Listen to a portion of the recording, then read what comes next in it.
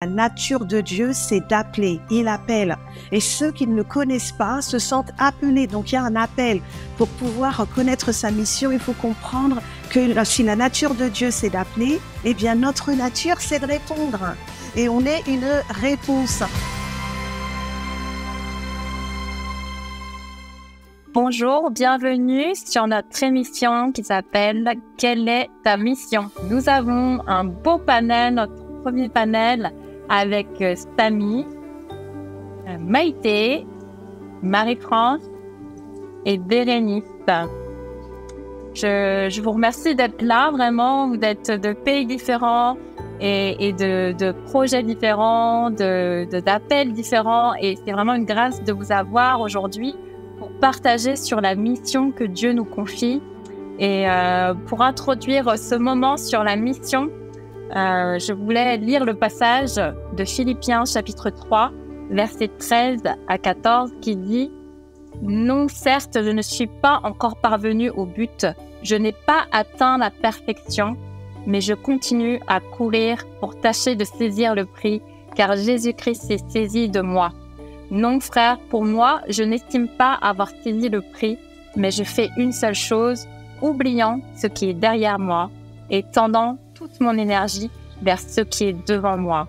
Je poursuis ma course vers le but pour remporter le prix attaché à l'appel que Dieu nous a adressé du haut du ciel dans l'union avec Jésus-Christ. Alors, euh, je, pensais à ce sujet de la mission et je me disais, euh, est-ce que je suis toujours debout dans la course que le Seigneur me donne? Est-ce que je me lève dans ce à quoi il m'appelle et est-ce que je regarde derrière ou est-ce que je regarde devant euh, pour courir vers le but que le Seigneur a prévu pour moi? Et pour démarrer euh, ce, ce, moment euh, de, de, discussion, mais aussi de partage avec des femmes incroyables, euh, quelle est notre mission? Comment on la découvre, Marie-France? Alors, écoute, Florence, déjà, j'ai envie de rebondir sur ce que sur ce que Samy euh, disait sur le fait que c'est tous les jours, euh, c'est tous les jours qu'on découvre notre notre mission. Euh, personnellement, pour te répondre, je suis pas, euh, j'ai pas un dictionnaire. Je peux répondre qu'à travers ma propre expérience par rapport à ce que le Seigneur m'a appris sur les les douze dernières années. Et puis, comme Samy, dans le cadre de mon travail, euh, je suis, euh, j'encourage les gens, je suis euh, coach, je suis, et, et, donc j'ai découvert qu'il n'y a pas de différence dans le monde séculier, comme lorsque l'on marche avec Christ, il y a un appel il y a un appel. Les gens, même ceux qui ne sont pas chrétiens, ils cherchent leur voix. On entend ça tous les jours. Je cherche ma, ma voix. Il y a des publicités partout. Trouver le sens de sa vie, que ce soit dans le yoga, dans ailleurs, euh, dans n'importe quelle euh, mouvance. Il y a un, un, appel que les gens euh, sont conscients d'avoir. Euh, je, je, pense qu'on le sait, nous, en tant que chrétiens, la nature de Dieu, c'est d'appeler. Il appelle. Et ceux qui ne le connaissent pas se sentent appelés. Donc, il y a un appel. Pour pouvoir connaître sa mission, il faut comprendre que si la nature de Dieu, c'est d'appeler, eh bien, notre nature, c'est de répondre. Et on est une réponse. Lorsque je me suis convertie, j'ai été très, très touchée par quelqu'un qui m'a encouragée et qui m'a dit, tu te rends compte, il y a quelque chose qui se passe pas dans ce monde tant que tu n'as pas euh, trouvé la raison pour laquelle Dieu t'a mise au monde. Et j'ai trouvé ça formidable. Et, et, euh, et, et, euh, et je crois que c'est comme ça que j'ai envie de te répondre. Dieu appelle, on est une réponse et il nous donne une habilité et il nous fait prendre conscience que nous avons des forces, des qualités et que nous avons des aptitudes. Et comme quelqu'un qui a envie de se mettre au fitness du jour au lendemain, eh bien, si tu vas à la salle après dix ans comme moi, sans faire de sport, eh bien, euh, tu souffres, tu vois, parce que tes muscles ils sont euh, complètement, euh, complètement faibles, ok? Donc, tu vas devoir travailler, travailler ses qualités, travailler ton, ton caractère. Donc, pour trouver la mission, il faut savoir qui la donne, ok? Donc, un, il y a celui qui appelle. Deux, il y a la prise de conscience que oui, nous, on est les appelés et donc, il y a quelque chose qui ne se passe pas dans la société, dans notre environnement, si nous ne nous, euh, on se met pas euh, en marche. Et le mot responsabilité, moi, il me fascine. Responsabilité. tu as l'habilité de répondre. Donc, tu prends ta responsabilité. Et quand tu prends ta responsabilité, tu réalises, et, et, et, et dans mon cas, j'essaie de donner ça comme une, comme une recette, hein, euh, tu, tu réalises qu'il y a des choses que tu dois lâcher. Tu dois lâcher parce que pour prendre sa responsabilité, il faut recevoir l'aptitude que Dieu veut te donner. Et parfois, eh bien, on s'est, on s'est forgé des mauvaises habitudes parce qu'on écoutait les mauvaises choses, parce que peut-être on répondait à la mission de quelqu'un d'autre et pas à la nôtre. Donc euh, voilà, pour moi, comment est-ce que l'on on, on, on, réalise que l'on a une mission? Comment est-ce que l'on trouve sa mission? Ben, on écoute. Et pour écouter, il faut se nettoyer. Le, le canal que l'on est, il est sale, il est pollué. La société fait du bruit Aujourd'hui, ça doit être terrible d'être à Paris ou bien d'être dans la ville de Nanterre. Il y a beaucoup de choses qui font du bruit. Il y a les voix dans notre tête.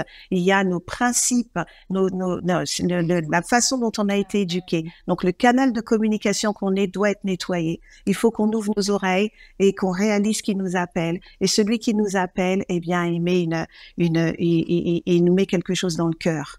Et quand tu es passionné par quelque chose, il n'y a pas de hasard quand tu es passionné par quelque chose, quand tu aimes quelque chose et quand tu es en colère contre un problème. Tu sais, tu es en colère, on a tendance à critiquer, on regarde, on critique, mais souvent, en fait, il se passe rien parce que nous, on s'est pas mis en marche. Mais en vrai, ce qu'il suffit de faire, c'est de réaliser que ce qui te passionne est en adéquation avec ce qui te met en colère. Hmm. Et ce qui te met en colère, c'est un problème sans doute que quand Dieu a donné naissance et qu'il a dit, hé Florence, il est temps que tu y ailles. Il est temps que tu ailles sortir parce qu'il y a un problème que j'ai envie que tu règles et il n'y a que toi qui peux le faire. Et tu vas rencontrer les bonnes personnes. Donc moi, c'est ma façon, et j'insiste que ce soit dans le séculier, avec des personnes qui n'ont jamais entendu de Dieu, euh, ont pas entendu parler de Dieu, ou alors qui pensent qu'elles n'ont pas besoin de Dieu. Il y a le même désir, la quête de sens, et euh, le, sens, c'est celui qui appelle. Donc voilà, pour, pour répondre à ta question, je dirais qu'on a une responsabilité et Dieu nous donne cette habilité d'être une réponse. Je veux, bah moi, par exemple, je voulais juste rebondir très rapidement sur ce que vous disiez. C'était vraiment très inspirant. Et en effet, ça m'a fait penser au verset de Romains 8, verset 19, qui dit aussi la création attend-elle avec un ardent désir la révélation des fils de Dieu. Et en fait, on a une destinée qui, qui s'attache en fait à l'appel que Dieu a mis en nous. Et c'est ça qui nous rend réellement heureux, c'est de rentrer dans les plans que Dieu a pour nous. Alors oui, on peut avoir des dons, on peut avoir des talents, mais euh, Dieu nous loin pour quelque chose en particulier, qui n'est peut-être pas euh, lié tout de suite à différents dons ou talents, ça dépend en fait. Euh, mais en effet, comme le disait maman Samy, eh bien, euh, on peut avoir le don euh, de chanter, mais c'est pas forcément ce par quoi Dieu t'a oint. Euh, tu peux avoir, mais par contre, tu peux avoir le don de chanter et tu es oint pour ça. Et quand tu chantes, eh bien, il y a quelque chose qui se passe.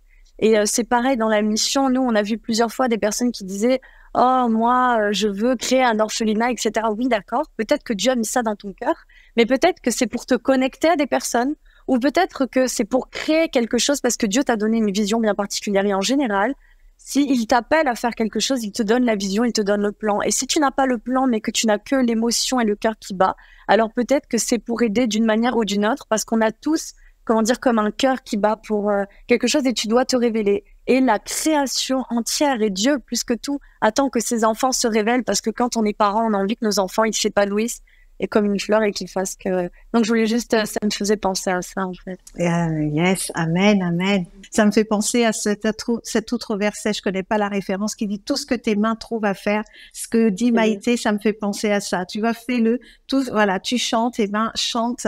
Euh, tu, tu, as envie de chanter. Il y, a, il y, a, ce médecin, je sais pas si vous avez vu sur les réseaux, ce médecin euh, qui est euh, cette chirurgienne qui, euh, au moment de l'anesthésie, elle chante.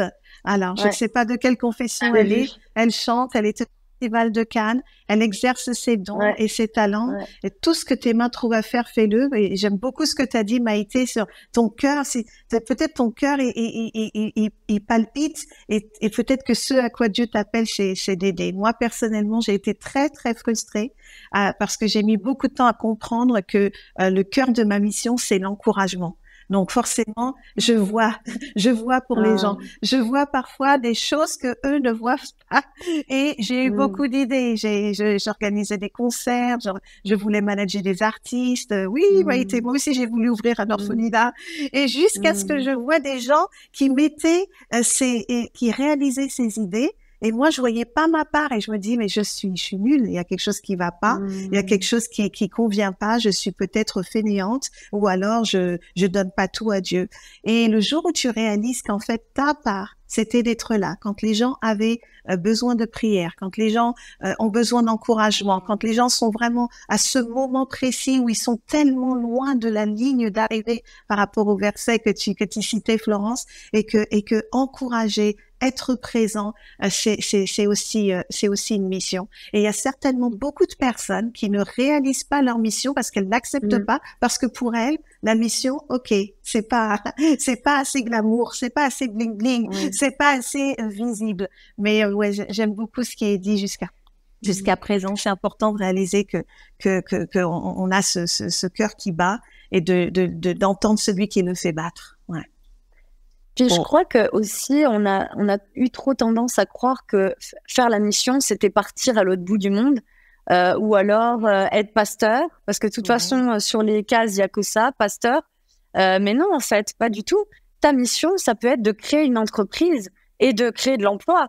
Parce que en fait Dieu nous appelle à rayonner dans toutes les sphères d'influence de cette terre. C'est-à-dire dans la musique, dans le, dans le sport, dans la politique, dans l'éducation. Et comme disait maman Samy, elle travaille à l'école. Et ben par ce biais-là, elle a une, elle a comme une, comme une onction pour pouvoir parler aux gens. Et en fait, c'est de savoir ce qui est bon. Vous savez, la Bible parle de ce qui est bon, agréable et parfait. Comment être dans la perfection et pas juste dans le bon? En effet, c'est bon de pouvoir chanter, c'est agréable de le faire, mais est-ce que c'est parfait? Donc, est-ce que moi, parce qu'il y a plein de gens qui veulent chanter aujourd'hui, mais est-ce qu'ils sont vraiment loin pour ça? Est-ce que Dieu les a appelés à faire ça? Parce que je ne sais pas si ça vous le fait, mais moi, quand j'entends quelqu'un chanter, euh, bah, il y en a pour certains, je ne sens pas forcément, ils chantent très bien, mais je ne sens pas forcément l'onction derrière ou quelque chose de spirituel. Ça ne veut pas dire que les autres sont nuls à côté. Ça veut juste dire qu'il y a certains, dès que je les entends, je sens mon cœur ou peut-être que moi je suis pas connectée, mais ou alors quand je vois certains qui ont, vous savez, une intelligence dans le business, mais c'est comme si ça fait partie d'eux. Vous savez, quand on voit Salomon, la sagesse qu'il avait, c'est surnaturel. C'est quelque chose que Dieu accompagne pour qu'il rentre dans sa destinée, mais avec impact. Et donc, ça a une perfection dans ce qu'il fait. Mais par contre, euh, c'est bon de chanter le dimanche à l'église, mais peut-être que quelqu'un, peut-être que Dieu avait un plan que tu sois un artiste connu pour pouvoir toucher beaucoup d'âmes. Et peut-être que tu ne le sais pas et tu restes dans ton petit truc. Oui, mais c'est bon, je sers Dieu dans ma petite église. Oui, c'est bien. Mais peut-être que Dieu t'appelle à faire plus parce qu'il t'a oint pour des choses. Donc en fait, on doit réaliser, en effet, il y a des choses qui sont bonnes pour, euh, que je dois faire. Et puis il y a des choses sur lesquelles je dois réfléchir pourquoi je suis ointe pourquoi je suis ointe et pourquoi je dois rentrer dedans. Et, et une fois que Dieu m'a parlé, je dois obéir. C'est pas à celui qui fait le plus grand ministère, c'est pas à celui. Et des fois, je rentre dans mon appel parce que je m'associe à un ministère qui est extraordinaire et je rentre pleinement dans ce que Dieu veut faire. Parce qu'un ministère, ce n'est jamais des personnes, c'est Jésus à travers des gens. Donc, il va trouver quelque chose par lequel toi, tu vas pouvoir t'épanouir et faire quelque chose et, et, et euh, voilà, et t'épanouir. Parce que quand tu rentres dans la destinée, Dieu, il pourvoit à tout, même à des choses auxquelles tu n'avais pas pensé. Je m'emballe un peu, désolée, Fleur. Non, c'est bon, c'est bon. Il faut, vas-y, vas-y, va fond. Et je vais compléter je complétais ce que tu viens de dire, c'est c'est de réaliser, mais aussi c'est de croire dans ce que Dieu dit de nous, en fait. Parce que moi, je sais que Dieu a dit beaucoup de choses sur ma vie. Et moi, j'avais du mal à accepter les paroles de Dieu sur ma vie parce qu'elles étaient trop grandes. Et je me disais, ah, mais non, mais c'est trop, trop, trop. Et en fait, au moment où j'ai accepté, j'ai dit, OK, parce que c'est toi qui fais, Seigneur. Moi, je suis juste euh, ta fille, je suis juste avec toi, je t'aime toi, tu vas faire à travers moi. Et moi, j'ai juste à croire. J'ai à croire que tu es mon Père, que tu es Dieu, que tu es puissant, que tu peux toutes choses et je marche avec toi. Mm. Et j'ai dû prendre une décision aussi parce qu'avec les temps qui courent, j'ai, enfin, ces dernières années, j'ai vraiment dit à Dieu, je veux pas cacher aucun de mes talents. Aucun de mes talents, je veux les cacher. Et, et j'ai dit à Dieu, euh, même les plus petits talents, je veux plus avec ces complexes, le complexe, est-ce que je, je, joue bien un piano, est-ce que je chante bien, est-ce que je si je ça. non, tu m'as donné quelque chose, je le reçois, je l'accepte et je veux l'utiliser pour ta gloire. Et je pense que parfois on attend que des gens nous disent, bah vas-y, t'es es vraiment bonne à ça, vas-y. Même si Dieu parle à travers les hommes et, les femmes, euh, mais euh, je crois qu'aussi on sait déjà qu'on a et qu'on doit dire, oui papa, je, je m'occupe de tes affaires. Comme Jésus à 12 ans, il a dit, euh, je m'occupe de mes affaires. Ça vous étonne? Il dit ça à mm. ses parents, il a 12 ans. Donc ne te dis pas tu es trop jeune ou trop âgé. Une femme ou un homme ou quoi, ne te mets pas des barrières et nous-mêmes nous avons besoin de lui. Shalom, j'espère que vous avez aimé cette vidéo. Abonnez-vous pour ne pas rater nos programmes. Merci de faire partie de notre famille tibienne. Que Dieu vous bénisse. Shalom de Jérusalem.